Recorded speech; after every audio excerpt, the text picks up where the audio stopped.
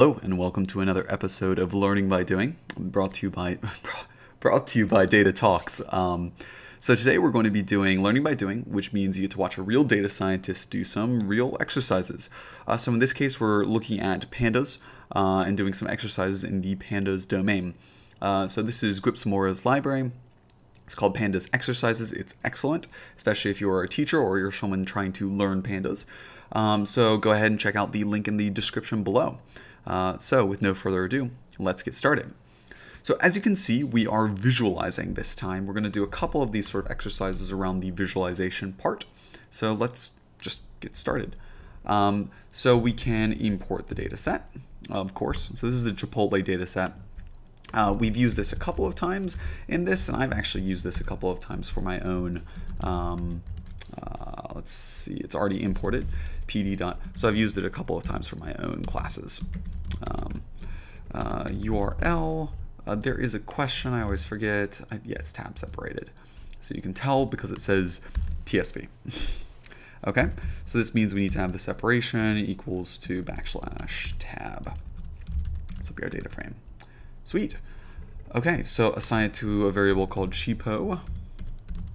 Totally fine check out the first 10 entries. So you guys are super familiar with this type of stuff. And this is basically the type of stuff that you'll want to do um, every time that you go ahead and get a new data uh, source. Oh.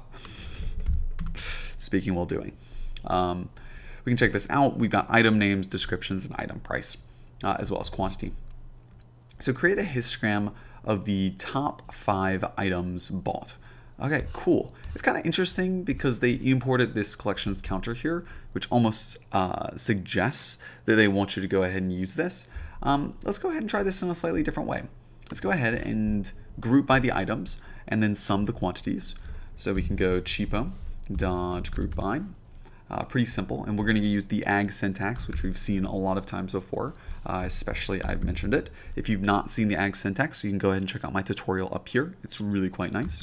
Um, so item name dot agg, and then let's go ahead and we are going to get the quantity to see the number of items bought. So we're looking at quantity, and then we want to sum that quantity. Okay. And you'll see this actually gives us these items as well as um, the quantity. Um, but we want to go ahead and plot this. Um, I wouldn't say uh, I wouldn't call this a histogram. It, it's sort of more of a, a bar chart, I guess you would say, um, because you're just seeing each item how much they have. I think that's what they mean. Um, so let's go ahead and get the top five items. So let's go uh, sort uh, values. Um, you can also just do this with value counts instead of doing this group by here. Um, though the value count won't work since we're summing quantity. So group by. Uh, so we sort values. Um, let's go ahead and say ascending equals false. This will give us the top. And then let's go ahead and do uh, loc to go ahead and get us the top uh, five. Oh, uh, sort values is missing, of course, by. So we'll, we will sort it by quantity. Okay. And another one. That looks fine. Uh, slice, slice, slice. Let's go ahead and just check out what this looks like. This might not actually be, oh no it is. Okay, there's, um, okay. So let's just go ahead and grab the top five. So chicken bowl, chicken burrito, blah, blah, blah. So these are the top five, and we want to go ahead and plot these. Um, so I'm going to call this um, top five. Pretty simple. Uh, let's just go ahead and print this out right at the bottom here. This will be our top five. Nice thing about pandas is that it does a lot of the plotting for you. So I'm not a matplotlib expert. Uh, I know Seaborn and I know how to just basically do it via pandas, which I will show you a little bit right now. So we've got top five and you can just do dot plot. Um, oh, and this will generally just kind of like figure out what the, so in this case it's not a bar, but it will generally kind of figure out some of the things for you. So right, we go ahead and we plot the top five's quantity. That is done here. Let's go ahead and make this uh, kind equals bar. I hope that's what it is. Uh, so now it's a bar chart. And now this is actually fine, you know? Um, it's not the best, um, but it will do. Now, we can make this one better, and I will just do this here uh, using Seaborn. Uh, so we can go ahead, Seaborn is basically just wraps matplotlib. It's just sort of a, a, fancy, pretty version of matplotlib that is sort of simple and is very, you, you, don't need to memorize everything when you go about it. So let's go ahead, import uh, Seaborn as um, SNS, uh, SNS dot, let's go with bar plot. Let's just run this one time so I can get autocomplete bar plot. Sorry, my autocomplete is like very slow, um, especially the first time. Okay, we've got X, Y, and data. Okay. Let's just try this out. We can just try data goes to top five and see if it can kind of infer it. Um, equals top five. Yeah, it did not, it did not really infer that. um, Right. So, yeah. So this, this will be a little bit more troublesome than I would have expected. So let's go here. We can reset the index. Uh, this will pop the item name into uh, a column. And then I can go ahead and specify the uh, y is quantity equals um, uh, quantity. Uh, the x um, will equal uh, item uh, name, and then the data is top five. Um, interpret item underscore name, and partially the reason you need to go ahead and pass the reset index in here. Okay, and uh, yeah, we need to rotate this a little bit, and then it will look really pretty. Promise. Um, let's go ahead and see how we rotate. Orient, mm, maybe it's Orient. Um, mm, what's Orient do again? Um, it's all these options. So Orient, Orient, Orient. Okay, orientation of the plot. Oh, well, maybe this will actually just help. Uh, let's go ahead and just orient it horizontally. Um, orient, because the other thing we need to do, we could just pass in keyword args. Um, so we can just orient this horizontally. Ooh, doesn't allow that. Um, orient.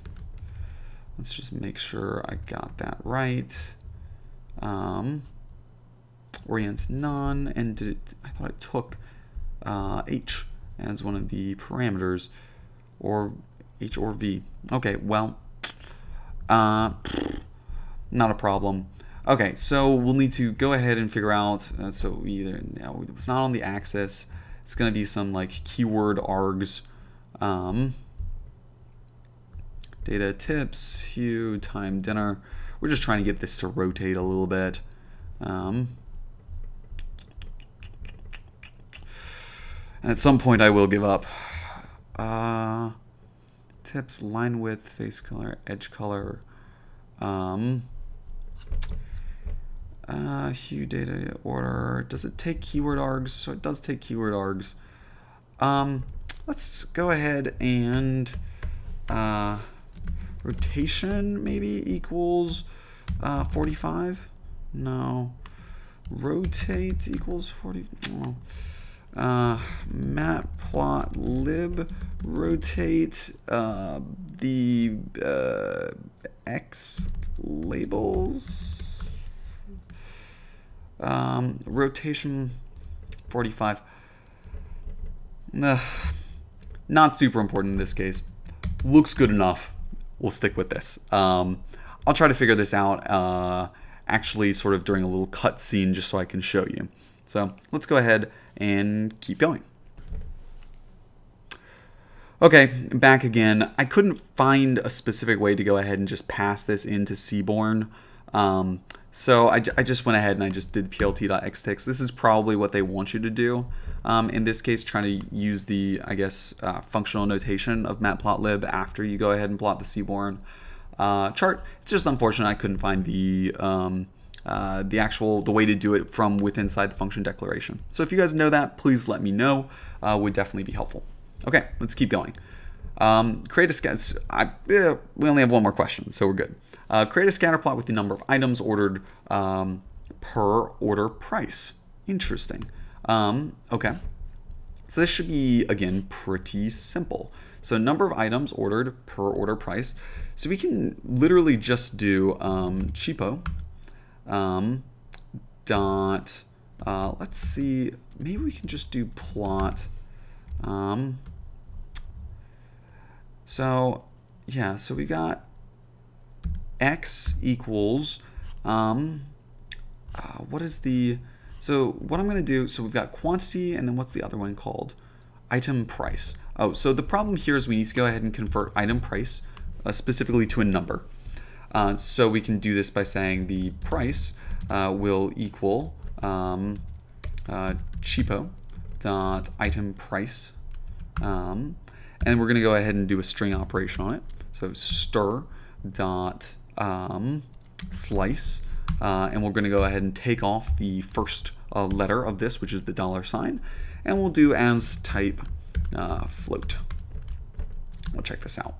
Price. Okay, looks pretty good.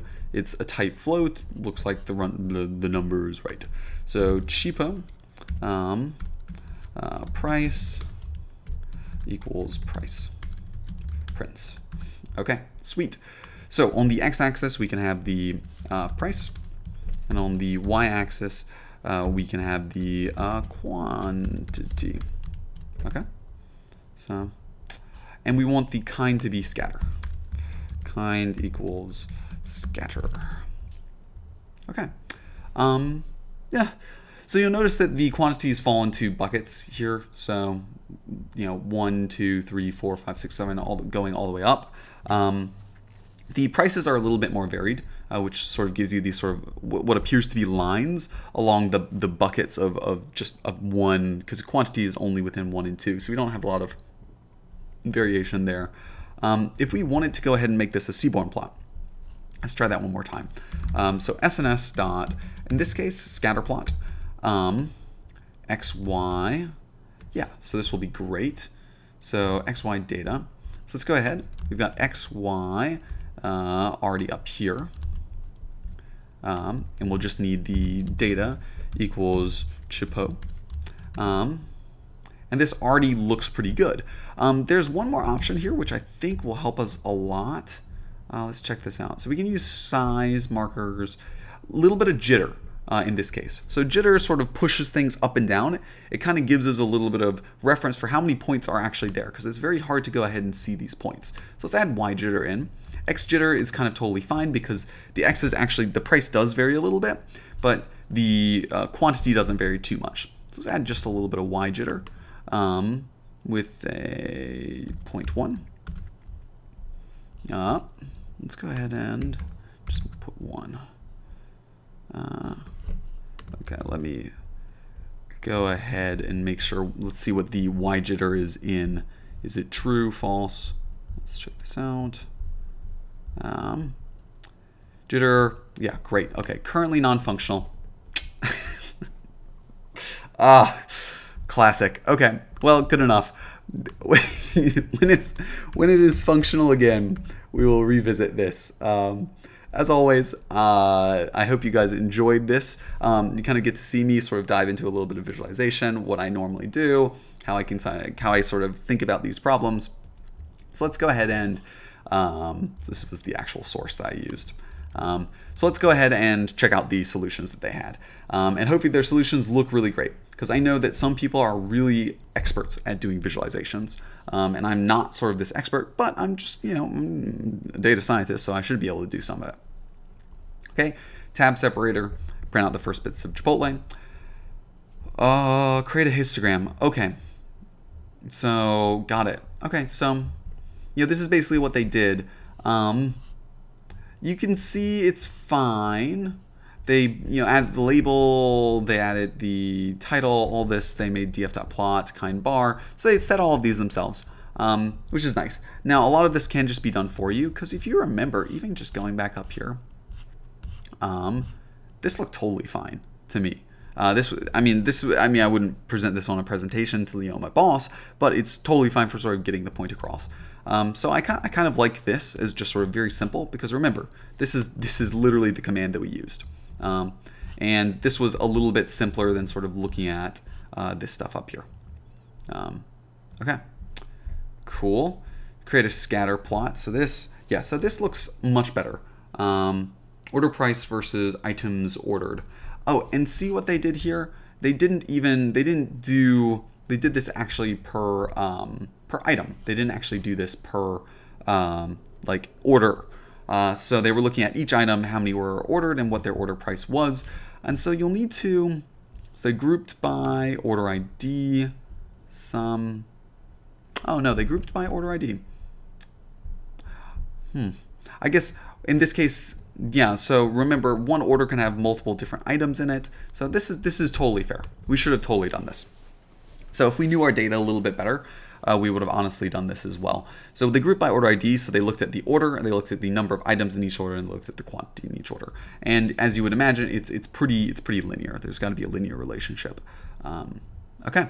So I hope you guys enjoyed that. If you did, go ahead leave a like uh, and subscribe. I, I purposefully add, you know leave in all this junk in here uh, as well, uh, just to sort of show you what a real what, a, basically what a data scientist goes through. I kind of want to show you that I am actually doing this off the cuff, um, that I'm not sort of you know preparing or or, or doing that type of uh, you know that that type of thing. This is for that is to say for other videos I do I do prepare but this is the type of video that I think is just it's more fun to do this off the cuff so you can sort of see the actual thought process that I go through. Um, so if you liked it please go ahead and leave a thumbs up. No snarky comments down there. I feel like I made a little verbal blunder. Uh, otherwise uh, I really love you guys over at Data Talks and I hope to see you again